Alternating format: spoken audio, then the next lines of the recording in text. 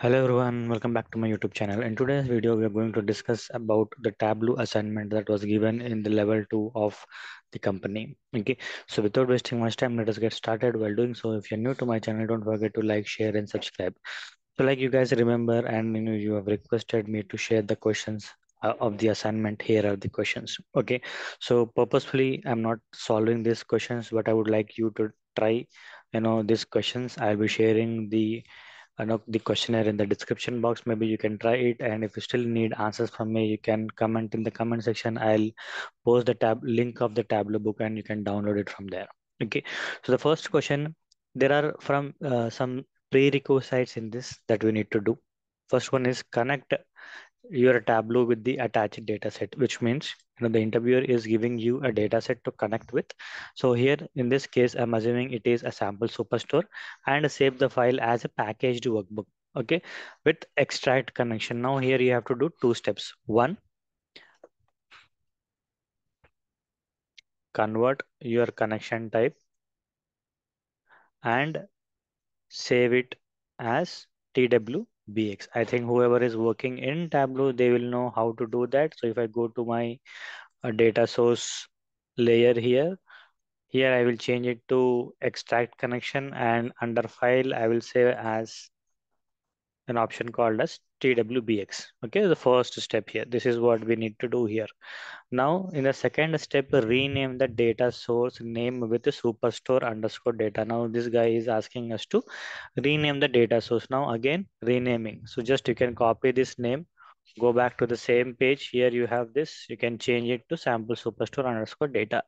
Two things you have done. Okay. Third step is hide two fields, namely row ID and customer ID.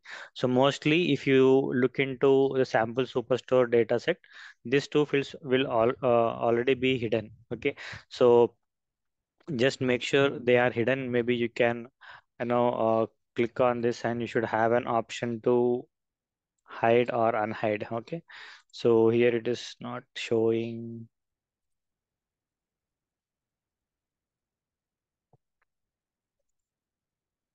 say row id is already hidden and customer id is also hidden okay? So if that is there then you don't need to perform anything. But if it is not hidden maybe you need to just simply click on this and you need to click on hide option like this okay? So perform this step on your data set okay? So i'm assuming that it is not hidden in the data set that he has given or they have given. And next step is rename order date field with date Okay, so here is uh, he's asking us to rename the date field. Now you can simply copy this date, go to your Tableau. This is the order date. I can simply double click this and I can paste it as state. Okay, so our prerequisites are done. Now remove the city Middletown from the entire data set. Okay, so remove middle middle town means I'm trying to add a filter here at a data source so that I can remove uh, I'm just clicking on OK. And uh, under city I'm trying to search for this. I'm just selecting this and I'm excluding this. Click on OK. So I've excluded only Middletown from our data set. Okay? So that we have done. You can try other filter methods also to restrict the data but I've used uh, you know data source filter here because we don't need that anywhere in the data set. So I'm removing that. Next is create a hierarchy in the order segment category, uh, subcategory, and name it as segment details. Okay, so you need to create an hierarchy, but if you observe in our sample superstore, again, hierarchy will already be created. Okay, so under, I think it is under product, we have category, subcategory, manufacturer name and product. So maybe in the given set that they have given it is not there. So you need to create an hierarchy. Maybe you can simply right click on this like say segment you know hierarchy. Create an hierarchy you can create and you can add whatever the dimensions he is specifying here. Okay. Segment underscore category subcategory and name it as a segment details. Okay. So these steps are prerequisites or you are spending time to prepare your data now once this is done you are ready to build your visualization or start creating the visualization. Okay. So now once you're done with the above step, create views as mentioned below. Create different views. Now how many views is asking? 10 different views are there. Okay. So all are very simple. You know, if you are, you know, following my channel from a long time or at least two to three months, you should be able to solve these questions. Create a text table for state associated with its quantity and sort it alphabetically with a proper labeling. Very straightforward question. No you know uh, no indirect questions or no uh, functions to be used. Directly you can drag and drop and solve this question. Next is also create a bar chart for subcategory against average sales and sort it dynamically with the descending order. This is also the only thing that you need to do is remove the grid lines and both the axes. So little formatting you need to do. Okay again this is also very straightforward question. You need to take subcategory and instead of sum of sales you need to take average of sales. That's it. You know it will create a bar chart chat automatically.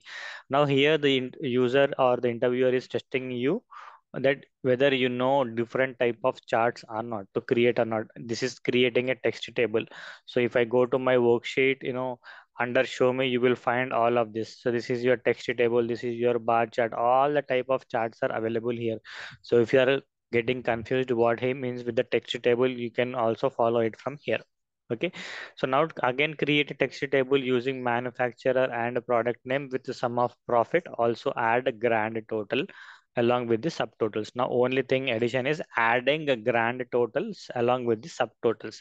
Now how can we get that if I if you go to analysis tab here you will have uh, totals under this you will have show row total column total and also you have an option called as add all total. So using this you can solve this question sheet 3 now sheet very easy questions sheet till here you should be able to do. Now next thing is create a team tree map for state versus sum of quantity by using gradient color whose html codes are this and this. Now the interviewer has given you the color codes that you need to use. Okay so we can simply copy this color code assume you want to change the color code. Okay i'm copying this code. And assume i'm creating a simple subcategory wise sales. And uh, i'm taking my sub sales and dropping it on color. But here what i'm doing is i want to change this color to the color that he has given. Click on this. And here under this html code you can simply paste it. Click ok apply. You got that color code. Okay like likewise you can use this color codes to solve the fourth question here. Now create a horizontal bar chart using segment and category with sum of sales and sort the entire data in descending order using rank function. Now only thing that you need to use is rank function here. Okay rank of sum of sales descending order. That's it Okay, so if you use that, it will automatically get sorted and sheet 5 is solved. Okay, so I hope you are clear till here. You know, you can simply solve first five questions without any hiccups. Let us see what are the remaining five questions we have here. Create a pie chart using segment and sum of discount. Show segment discount INR percent of total overview. Okay, so here the user is asking us to create a pie chart. So simply you can select the dimension and measure. So if you're not sure what steps to follow, you can select the dimension, whatever you need. Suppose I need region wise sales I need. I'll simply select that. Go to show me and I can select profit. I got region wise profit. Likewise, you can use whatever the dimensions he has specified and measures he has specified and you can convert that into percent of total here. The user is or the interviewer is asking in percentage format. So you need to make sure you are converting that into percentage.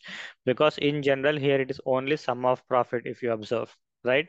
So i if i take and drop it on label it is showing me pro profit here. But i want in percentage you can simply you know click on the label and you have an option called as quick table calculation under that you have an option percent of total so you are converting that into percent of total option that way also you can solve this so that is something an extra step that you need to do in a sixth question now create a word cloud for subcategory with a count of quantity. Now, this is word cloud is something new. Maybe you know uh, you might have heard or you might not have heard. If you know about this, it's fine. Or you can comment in the comment section that you know. If you know, if you don't know, maybe you can follow this. Convert your mark type to text here. Okay, I am taking state or what is the thing that he has given for subcategory with the count of quantity. So I'm taking subcategory on the label here. Okay. And then I'm taking quantity here and again dropping it on label. Okay, this, this is how it is. Now what we need to do is take your sum of quantity here and drop it on size. This is your word cloud chart or cloud chart we call okay so this way you can prepare this and you can solve this question here okay maybe this is the only place where you can you know struggle or only this can be your unanswered question others are all doable sheet 8 is create tree, tree map for state versus sum of profit. Again this is very straightforward question. Here you can go and select whatever the you know tree map is there automatically. You can convert it and it becomes a tree map. Okay? That way you can do she uh, question 8 or sheet 8 here. Okay? So likewise for every question you need to create a separate sheet here. Sheet 2 sheet 3 sheet 4 like that okay. Now sheet 9 is created a blended axis using category and subcategory as dimension and count of quantity and average sales measure. So here he is talking about blended axis and not dual axis. So don't get confused. So dual axis means like say if i'm taking subcategory and i'm taking sales this is my one axis. But if i'm taking my profit and dropping onto it on the next. This is my dual axis concept here because i have two axes here. One is for sales and another is on another one is for profit. So if i click on this and if i do a dual axis it becomes dual. But he's asking us to create a blended axis. So simply we can take this profit measure and drop it on this. It becomes your blended axis here. Okay you see now we have only one standard axis. Okay that way we can solve this. Again don't get confused in the interview whenever he's asking about blended axis or dual axis. Blended means you are blending them into one here.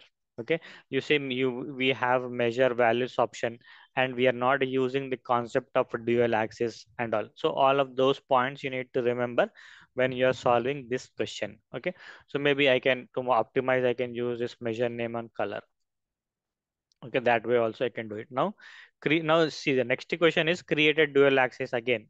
Okay so one is for your blended axis another one is for dual axis. Now in this case simply maybe you can uh, you know put right next to it like how we have done. If i go back this is your dual axis. Maybe now if i click on this it becomes a dual chart for me. Right like that i can solve it here. Okay so these are the 10 sheets that you will be creating okay?